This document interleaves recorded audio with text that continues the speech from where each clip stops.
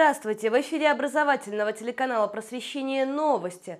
Поздравляем наших зрителей с началом нового учебного года. Какие изменения он принес и еще принесет, расскажут мои коллеги и я, Ксения Малеженкова. Сегодня в выпуске. Министр образования и науки России в День знаний посетила одну из новых школ Москвы. Количество первоклассников в России с каждым годом возрастает. В МГУ встретили первокурсников. Что ждет новичков? Московские школы признаны одними из лучших в мире.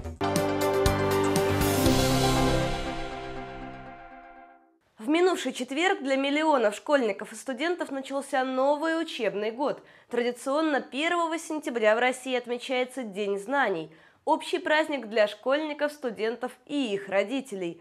Интересный момент. Начиная с 2007-го ежегодно отмечается рост численности первоклассников. Только в Москве их в этом году более 900 тысяч.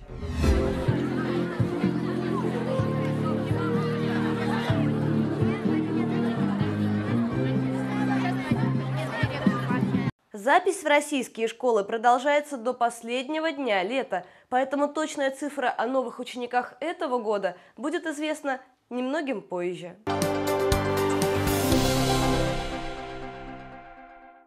К учебному году 2016-2017 введены в эксплуатацию 902 новых образовательных организации, в том числе 812 детских садов и 90 общеобразовательных школ – до конца года планируется ввести еще 211 объектов дошкольного образования и 95 школ.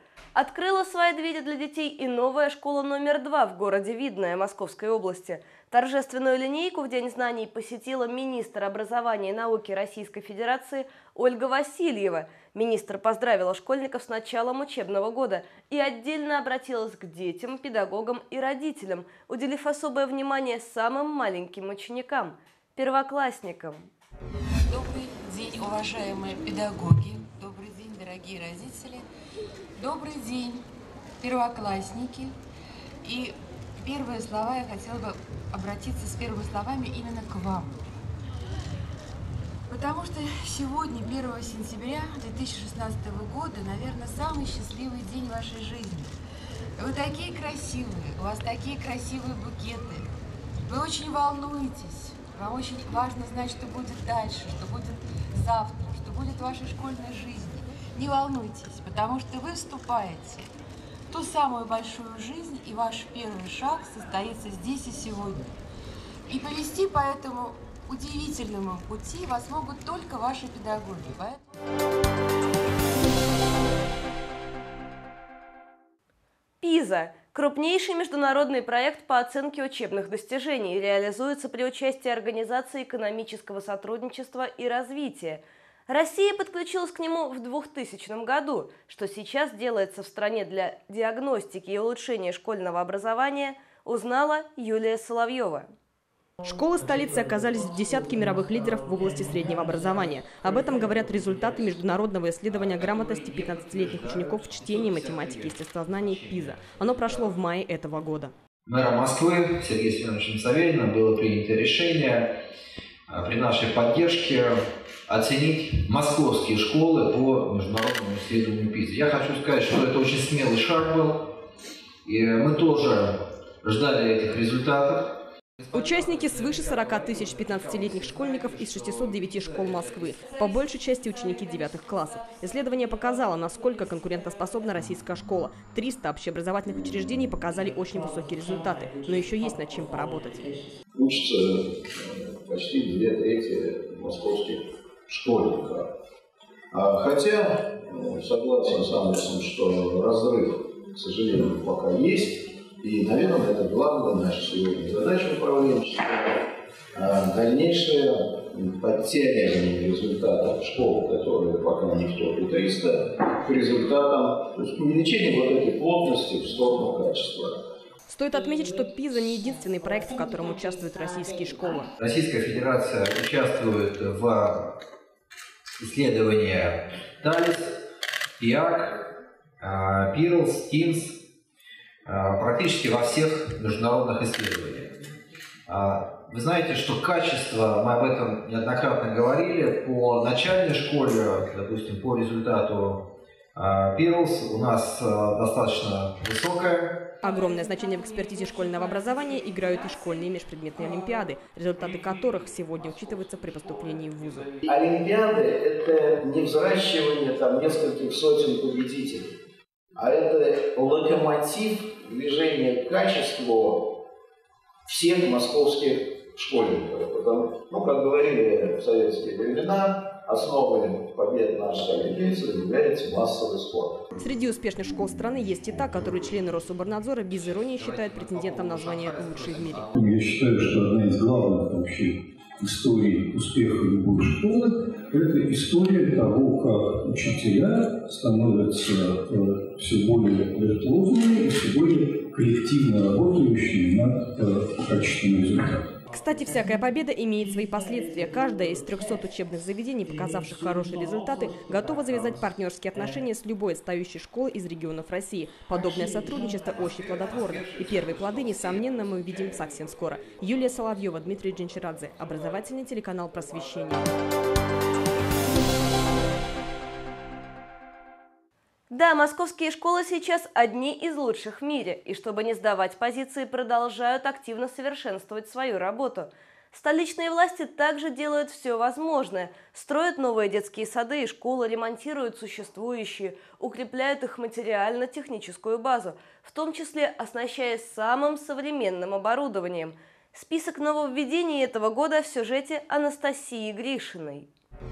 Московские школы готовы к новому учебному сезону. Отремонтированные здания, благоустроенная пришкольная территория, противопожарные двери, новейшее оборудование. Администрация московских школ за лето успела сделать многое. Высокие показатели, которые мы показываем и по результатам государственной налоговой аттестации, и э, независимая оценка Московского центра качества образования это подтверждают.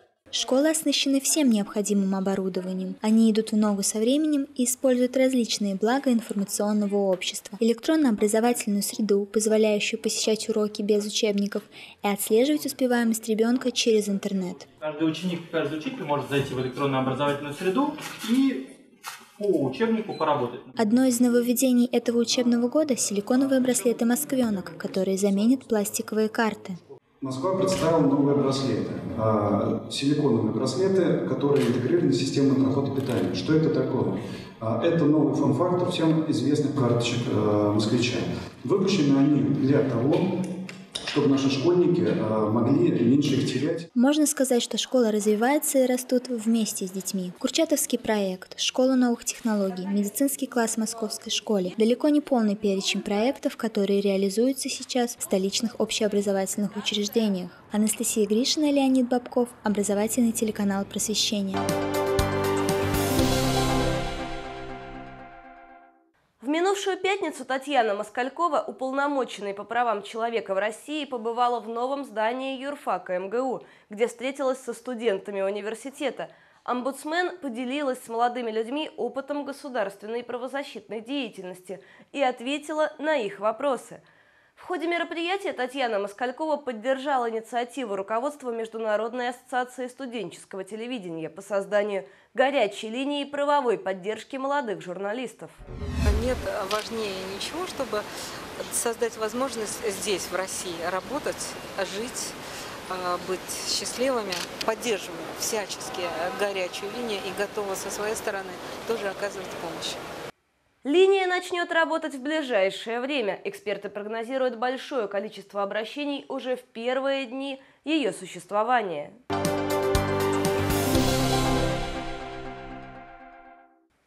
1 сентября в Первом русском университете в МГУ встретили первокурсников планами по открытию новых факультетов, космической программой, новыми возможностями международного обмена и курсом на сближение со школьным образованием – Подробности расскажет Александра Панина. не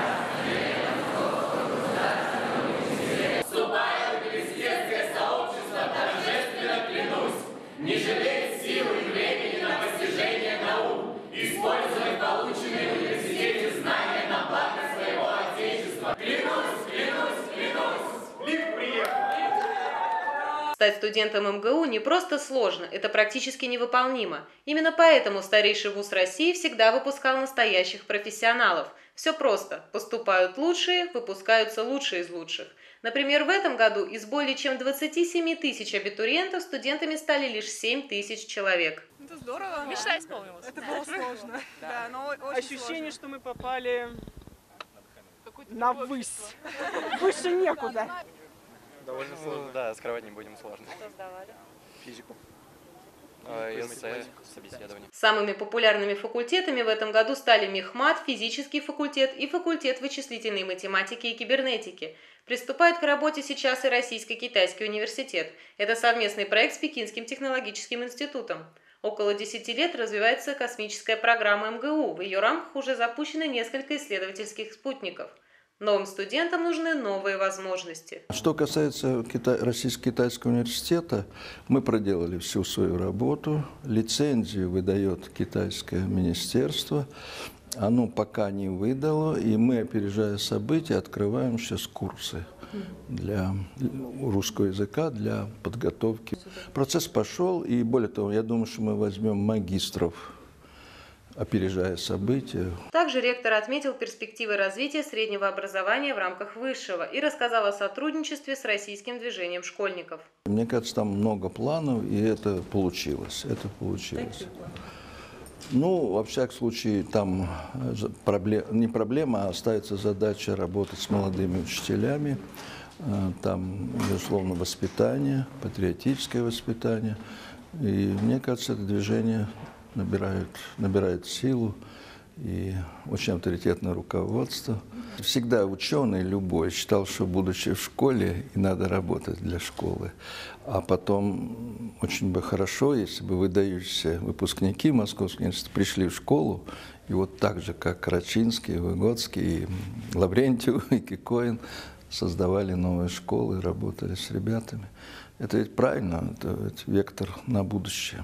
Поступить в ведущий вуз страны можно было по результатам ЕГЭ или же получив льготы, став призером или победителем Олимпиады школьников. Она проходит четыре этапа – школьный, муниципальный, региональный и заключительный. Льгота сохраняется в течение четырех лет. Ну, ждем распределения по группам. Угу. То есть вы первокурсники, да? да? Сложно было поступать? Очень? Нет. Нам не очень. Вам не очень? Нет. Вы, вы очень умные? Мы олимпиадники. И у вас какие-то льготы при поступлении? Да. Какие? Без вступительных прием. Сразу без вступительных. А какие, какие олимпиады? А, Ломоносов, биология. Угу. И Олимпиада Санкт-Петербургского государственного университета. У нас было деление по направлениям, и так как много было олимпиадников в этом году, они заняли практически большую часть мест, и приблизительно оставалось 16 мест на то направление, которое я хотел но я поступил. Мне кажется, нужно вести конкурс какой-нибудь среди олимпиадников, чтобы тоже проверить их знания. Потому что, например, ЕГЭ э, среди олимпиадников, если посмотреть, то у олимпиадников бывает даже не превышает 200 баллов. И это несправедливо к тем людям, которые ну, целый год трудились, да, готовились к математике, к русскому. А, стало большое количество олимпиад, не просто Всероссийская олимпиада школьников, а многие перечневые олимпиады. И перечневые олимпиады выиграть э, на самом деле намного проще, чем выиграть Всероссийскую олимпиаду. Я считаю, что а, должны именно из олимпиад больше всего внимания уделять именно всероссийской, а перечневых как бы а, вместе, чтобы они участвовали в общем конкурсе между с теми, кто сдает ЕГЭ. Потому что многие люди просто не знают о том, что существуют Олимпиады, они готовятся в их школе, может быть, учителя немного некомпетентны, они не рассказывают им про это, да. и это Мало грустно. Они готовятся к ЕГЭ, и потом, приходя в приемную комиссию, знают, что места заняли некоторые, некие олимпиадники, про которых они не знают, кто это такие. В течение всего Дня знаний в МГУ концерты и выступления официальных лиц – Новоиспеченных студентов поздравили олимпийские чемпионки по синхронному плаванию Александра Пацкевич и Алла Шишкина, которые недавно закончили университет. Студентам и во время учебы будет чем заняться. С самодеятельностью в МГУ тоже все в порядке. Александра Панина и Леонид Бабков. Образовательный канал «Просвещение». Последний день августа в столице прошла пресс-конференция, посвященная итогам работы Международного детского центра «Артек» в летний период. В прошлом году лагерь получил лицензию на осуществление образовательной деятельности, и уже в 2016 по результатам всероссийского рейтинга детских лагерей признан лучшим. В чем его преимущество, чему и как здесь учат детей, рассказал нашему корреспонденту Алексей Каспржак, директор МДЦ «Артек». Сетевой образовательный модуль – новая форма обучающих программ, разработанных специалистами МДЦ «Артек». Не только теория, но и творческая практика. Не учеба, но познание. Таким девизом постигают новое воспитанники круглогодичного образовательного лагеря. Это организационно очень непростая задача, потому что в ней участвуют не только учителя, а в ней участвуют все те, кто делает этот процесс ближе к профессиональному, потому что ребенку вообще интересно рядом э, делать то же, что делают взрослые. Традиционные методы обучения отходят на второй план. Ребенок должен не только увидеть и услышать, но почувствовать, понять, насколько ему близка та или иная дисциплина. Можно изучать пестики и тычинки, а, мы их тоже изучаем, но можно это делать в момент, когда ты отправляешь клубы перед своим лагерем. Или когда ты изучаешь а, парк, которому там 200 лет. Встретить профессионалов, которые помогут самоопределиться, принять участие в лидерском проекте, внести в свое портфолио строку, которая может стать решающей при поступлении в ВУЗ. Все это возможно в Артеке. Именно этим обусловлено такое количество желающих попасть в лагерь. За этот год мы примем, даже думаю, что больше, чем 30, 30 где-то к 31 тысячи человек, потому что мы немножко опережая даже самые оптимистичные планы, строим и вводим объекты в эксплуатацию.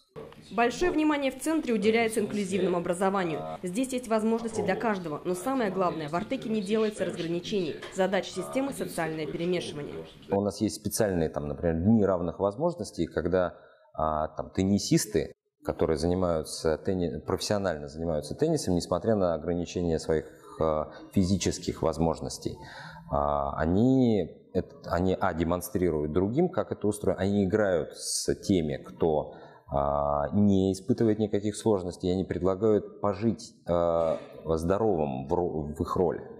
Тот, кто побывал в Артыке хотя бы раз, запомнит этот визит на всю жизнь. Это не только природные красоты, море, горы, парковые зоны, но и традиции. У лагеря своя особая культура, духовный микроклимат.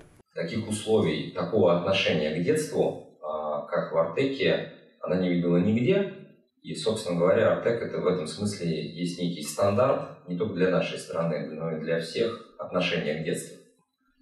Вот, поэтому нас признают. Здесь у каждого есть возможность почувствовать вкус успеха. Целостное образовательное пространство формирует в ребенке потребность в знаниях, а главное – веру в то, что самое важное в жизни он способен сделать сам. Юлия Соловьева, Леонид Бабков. Образовательный телеканал «Просвещение». К новому учебному году преобразился фасад корпуса гуманитарных факультетов Московского педагогического государственного университета. В ходе реконструкции на нем появились шестиметровые портреты знаменитых российских ученых Владимира Вернадского и Льва Выгодского. Они видны каждому проезжающему по проспекту Вернадского в районе станции метро «Юго-Западная». В свое время эти выдающиеся ученые вели педагогическую деятельность во втором МГУ – Именно такое имя носил с 1918 по 1930 годы Московский педагогический государственный университет. Дизайн портретов был выбран в ходе конкурса, проведенного среди студентов художественных факультетов. Из десятков работ отобраны два лучших, наиболее полно отражающие индивидуальность ученых. Еще больше новостей мира образования всегда доступны нашим подписчикам.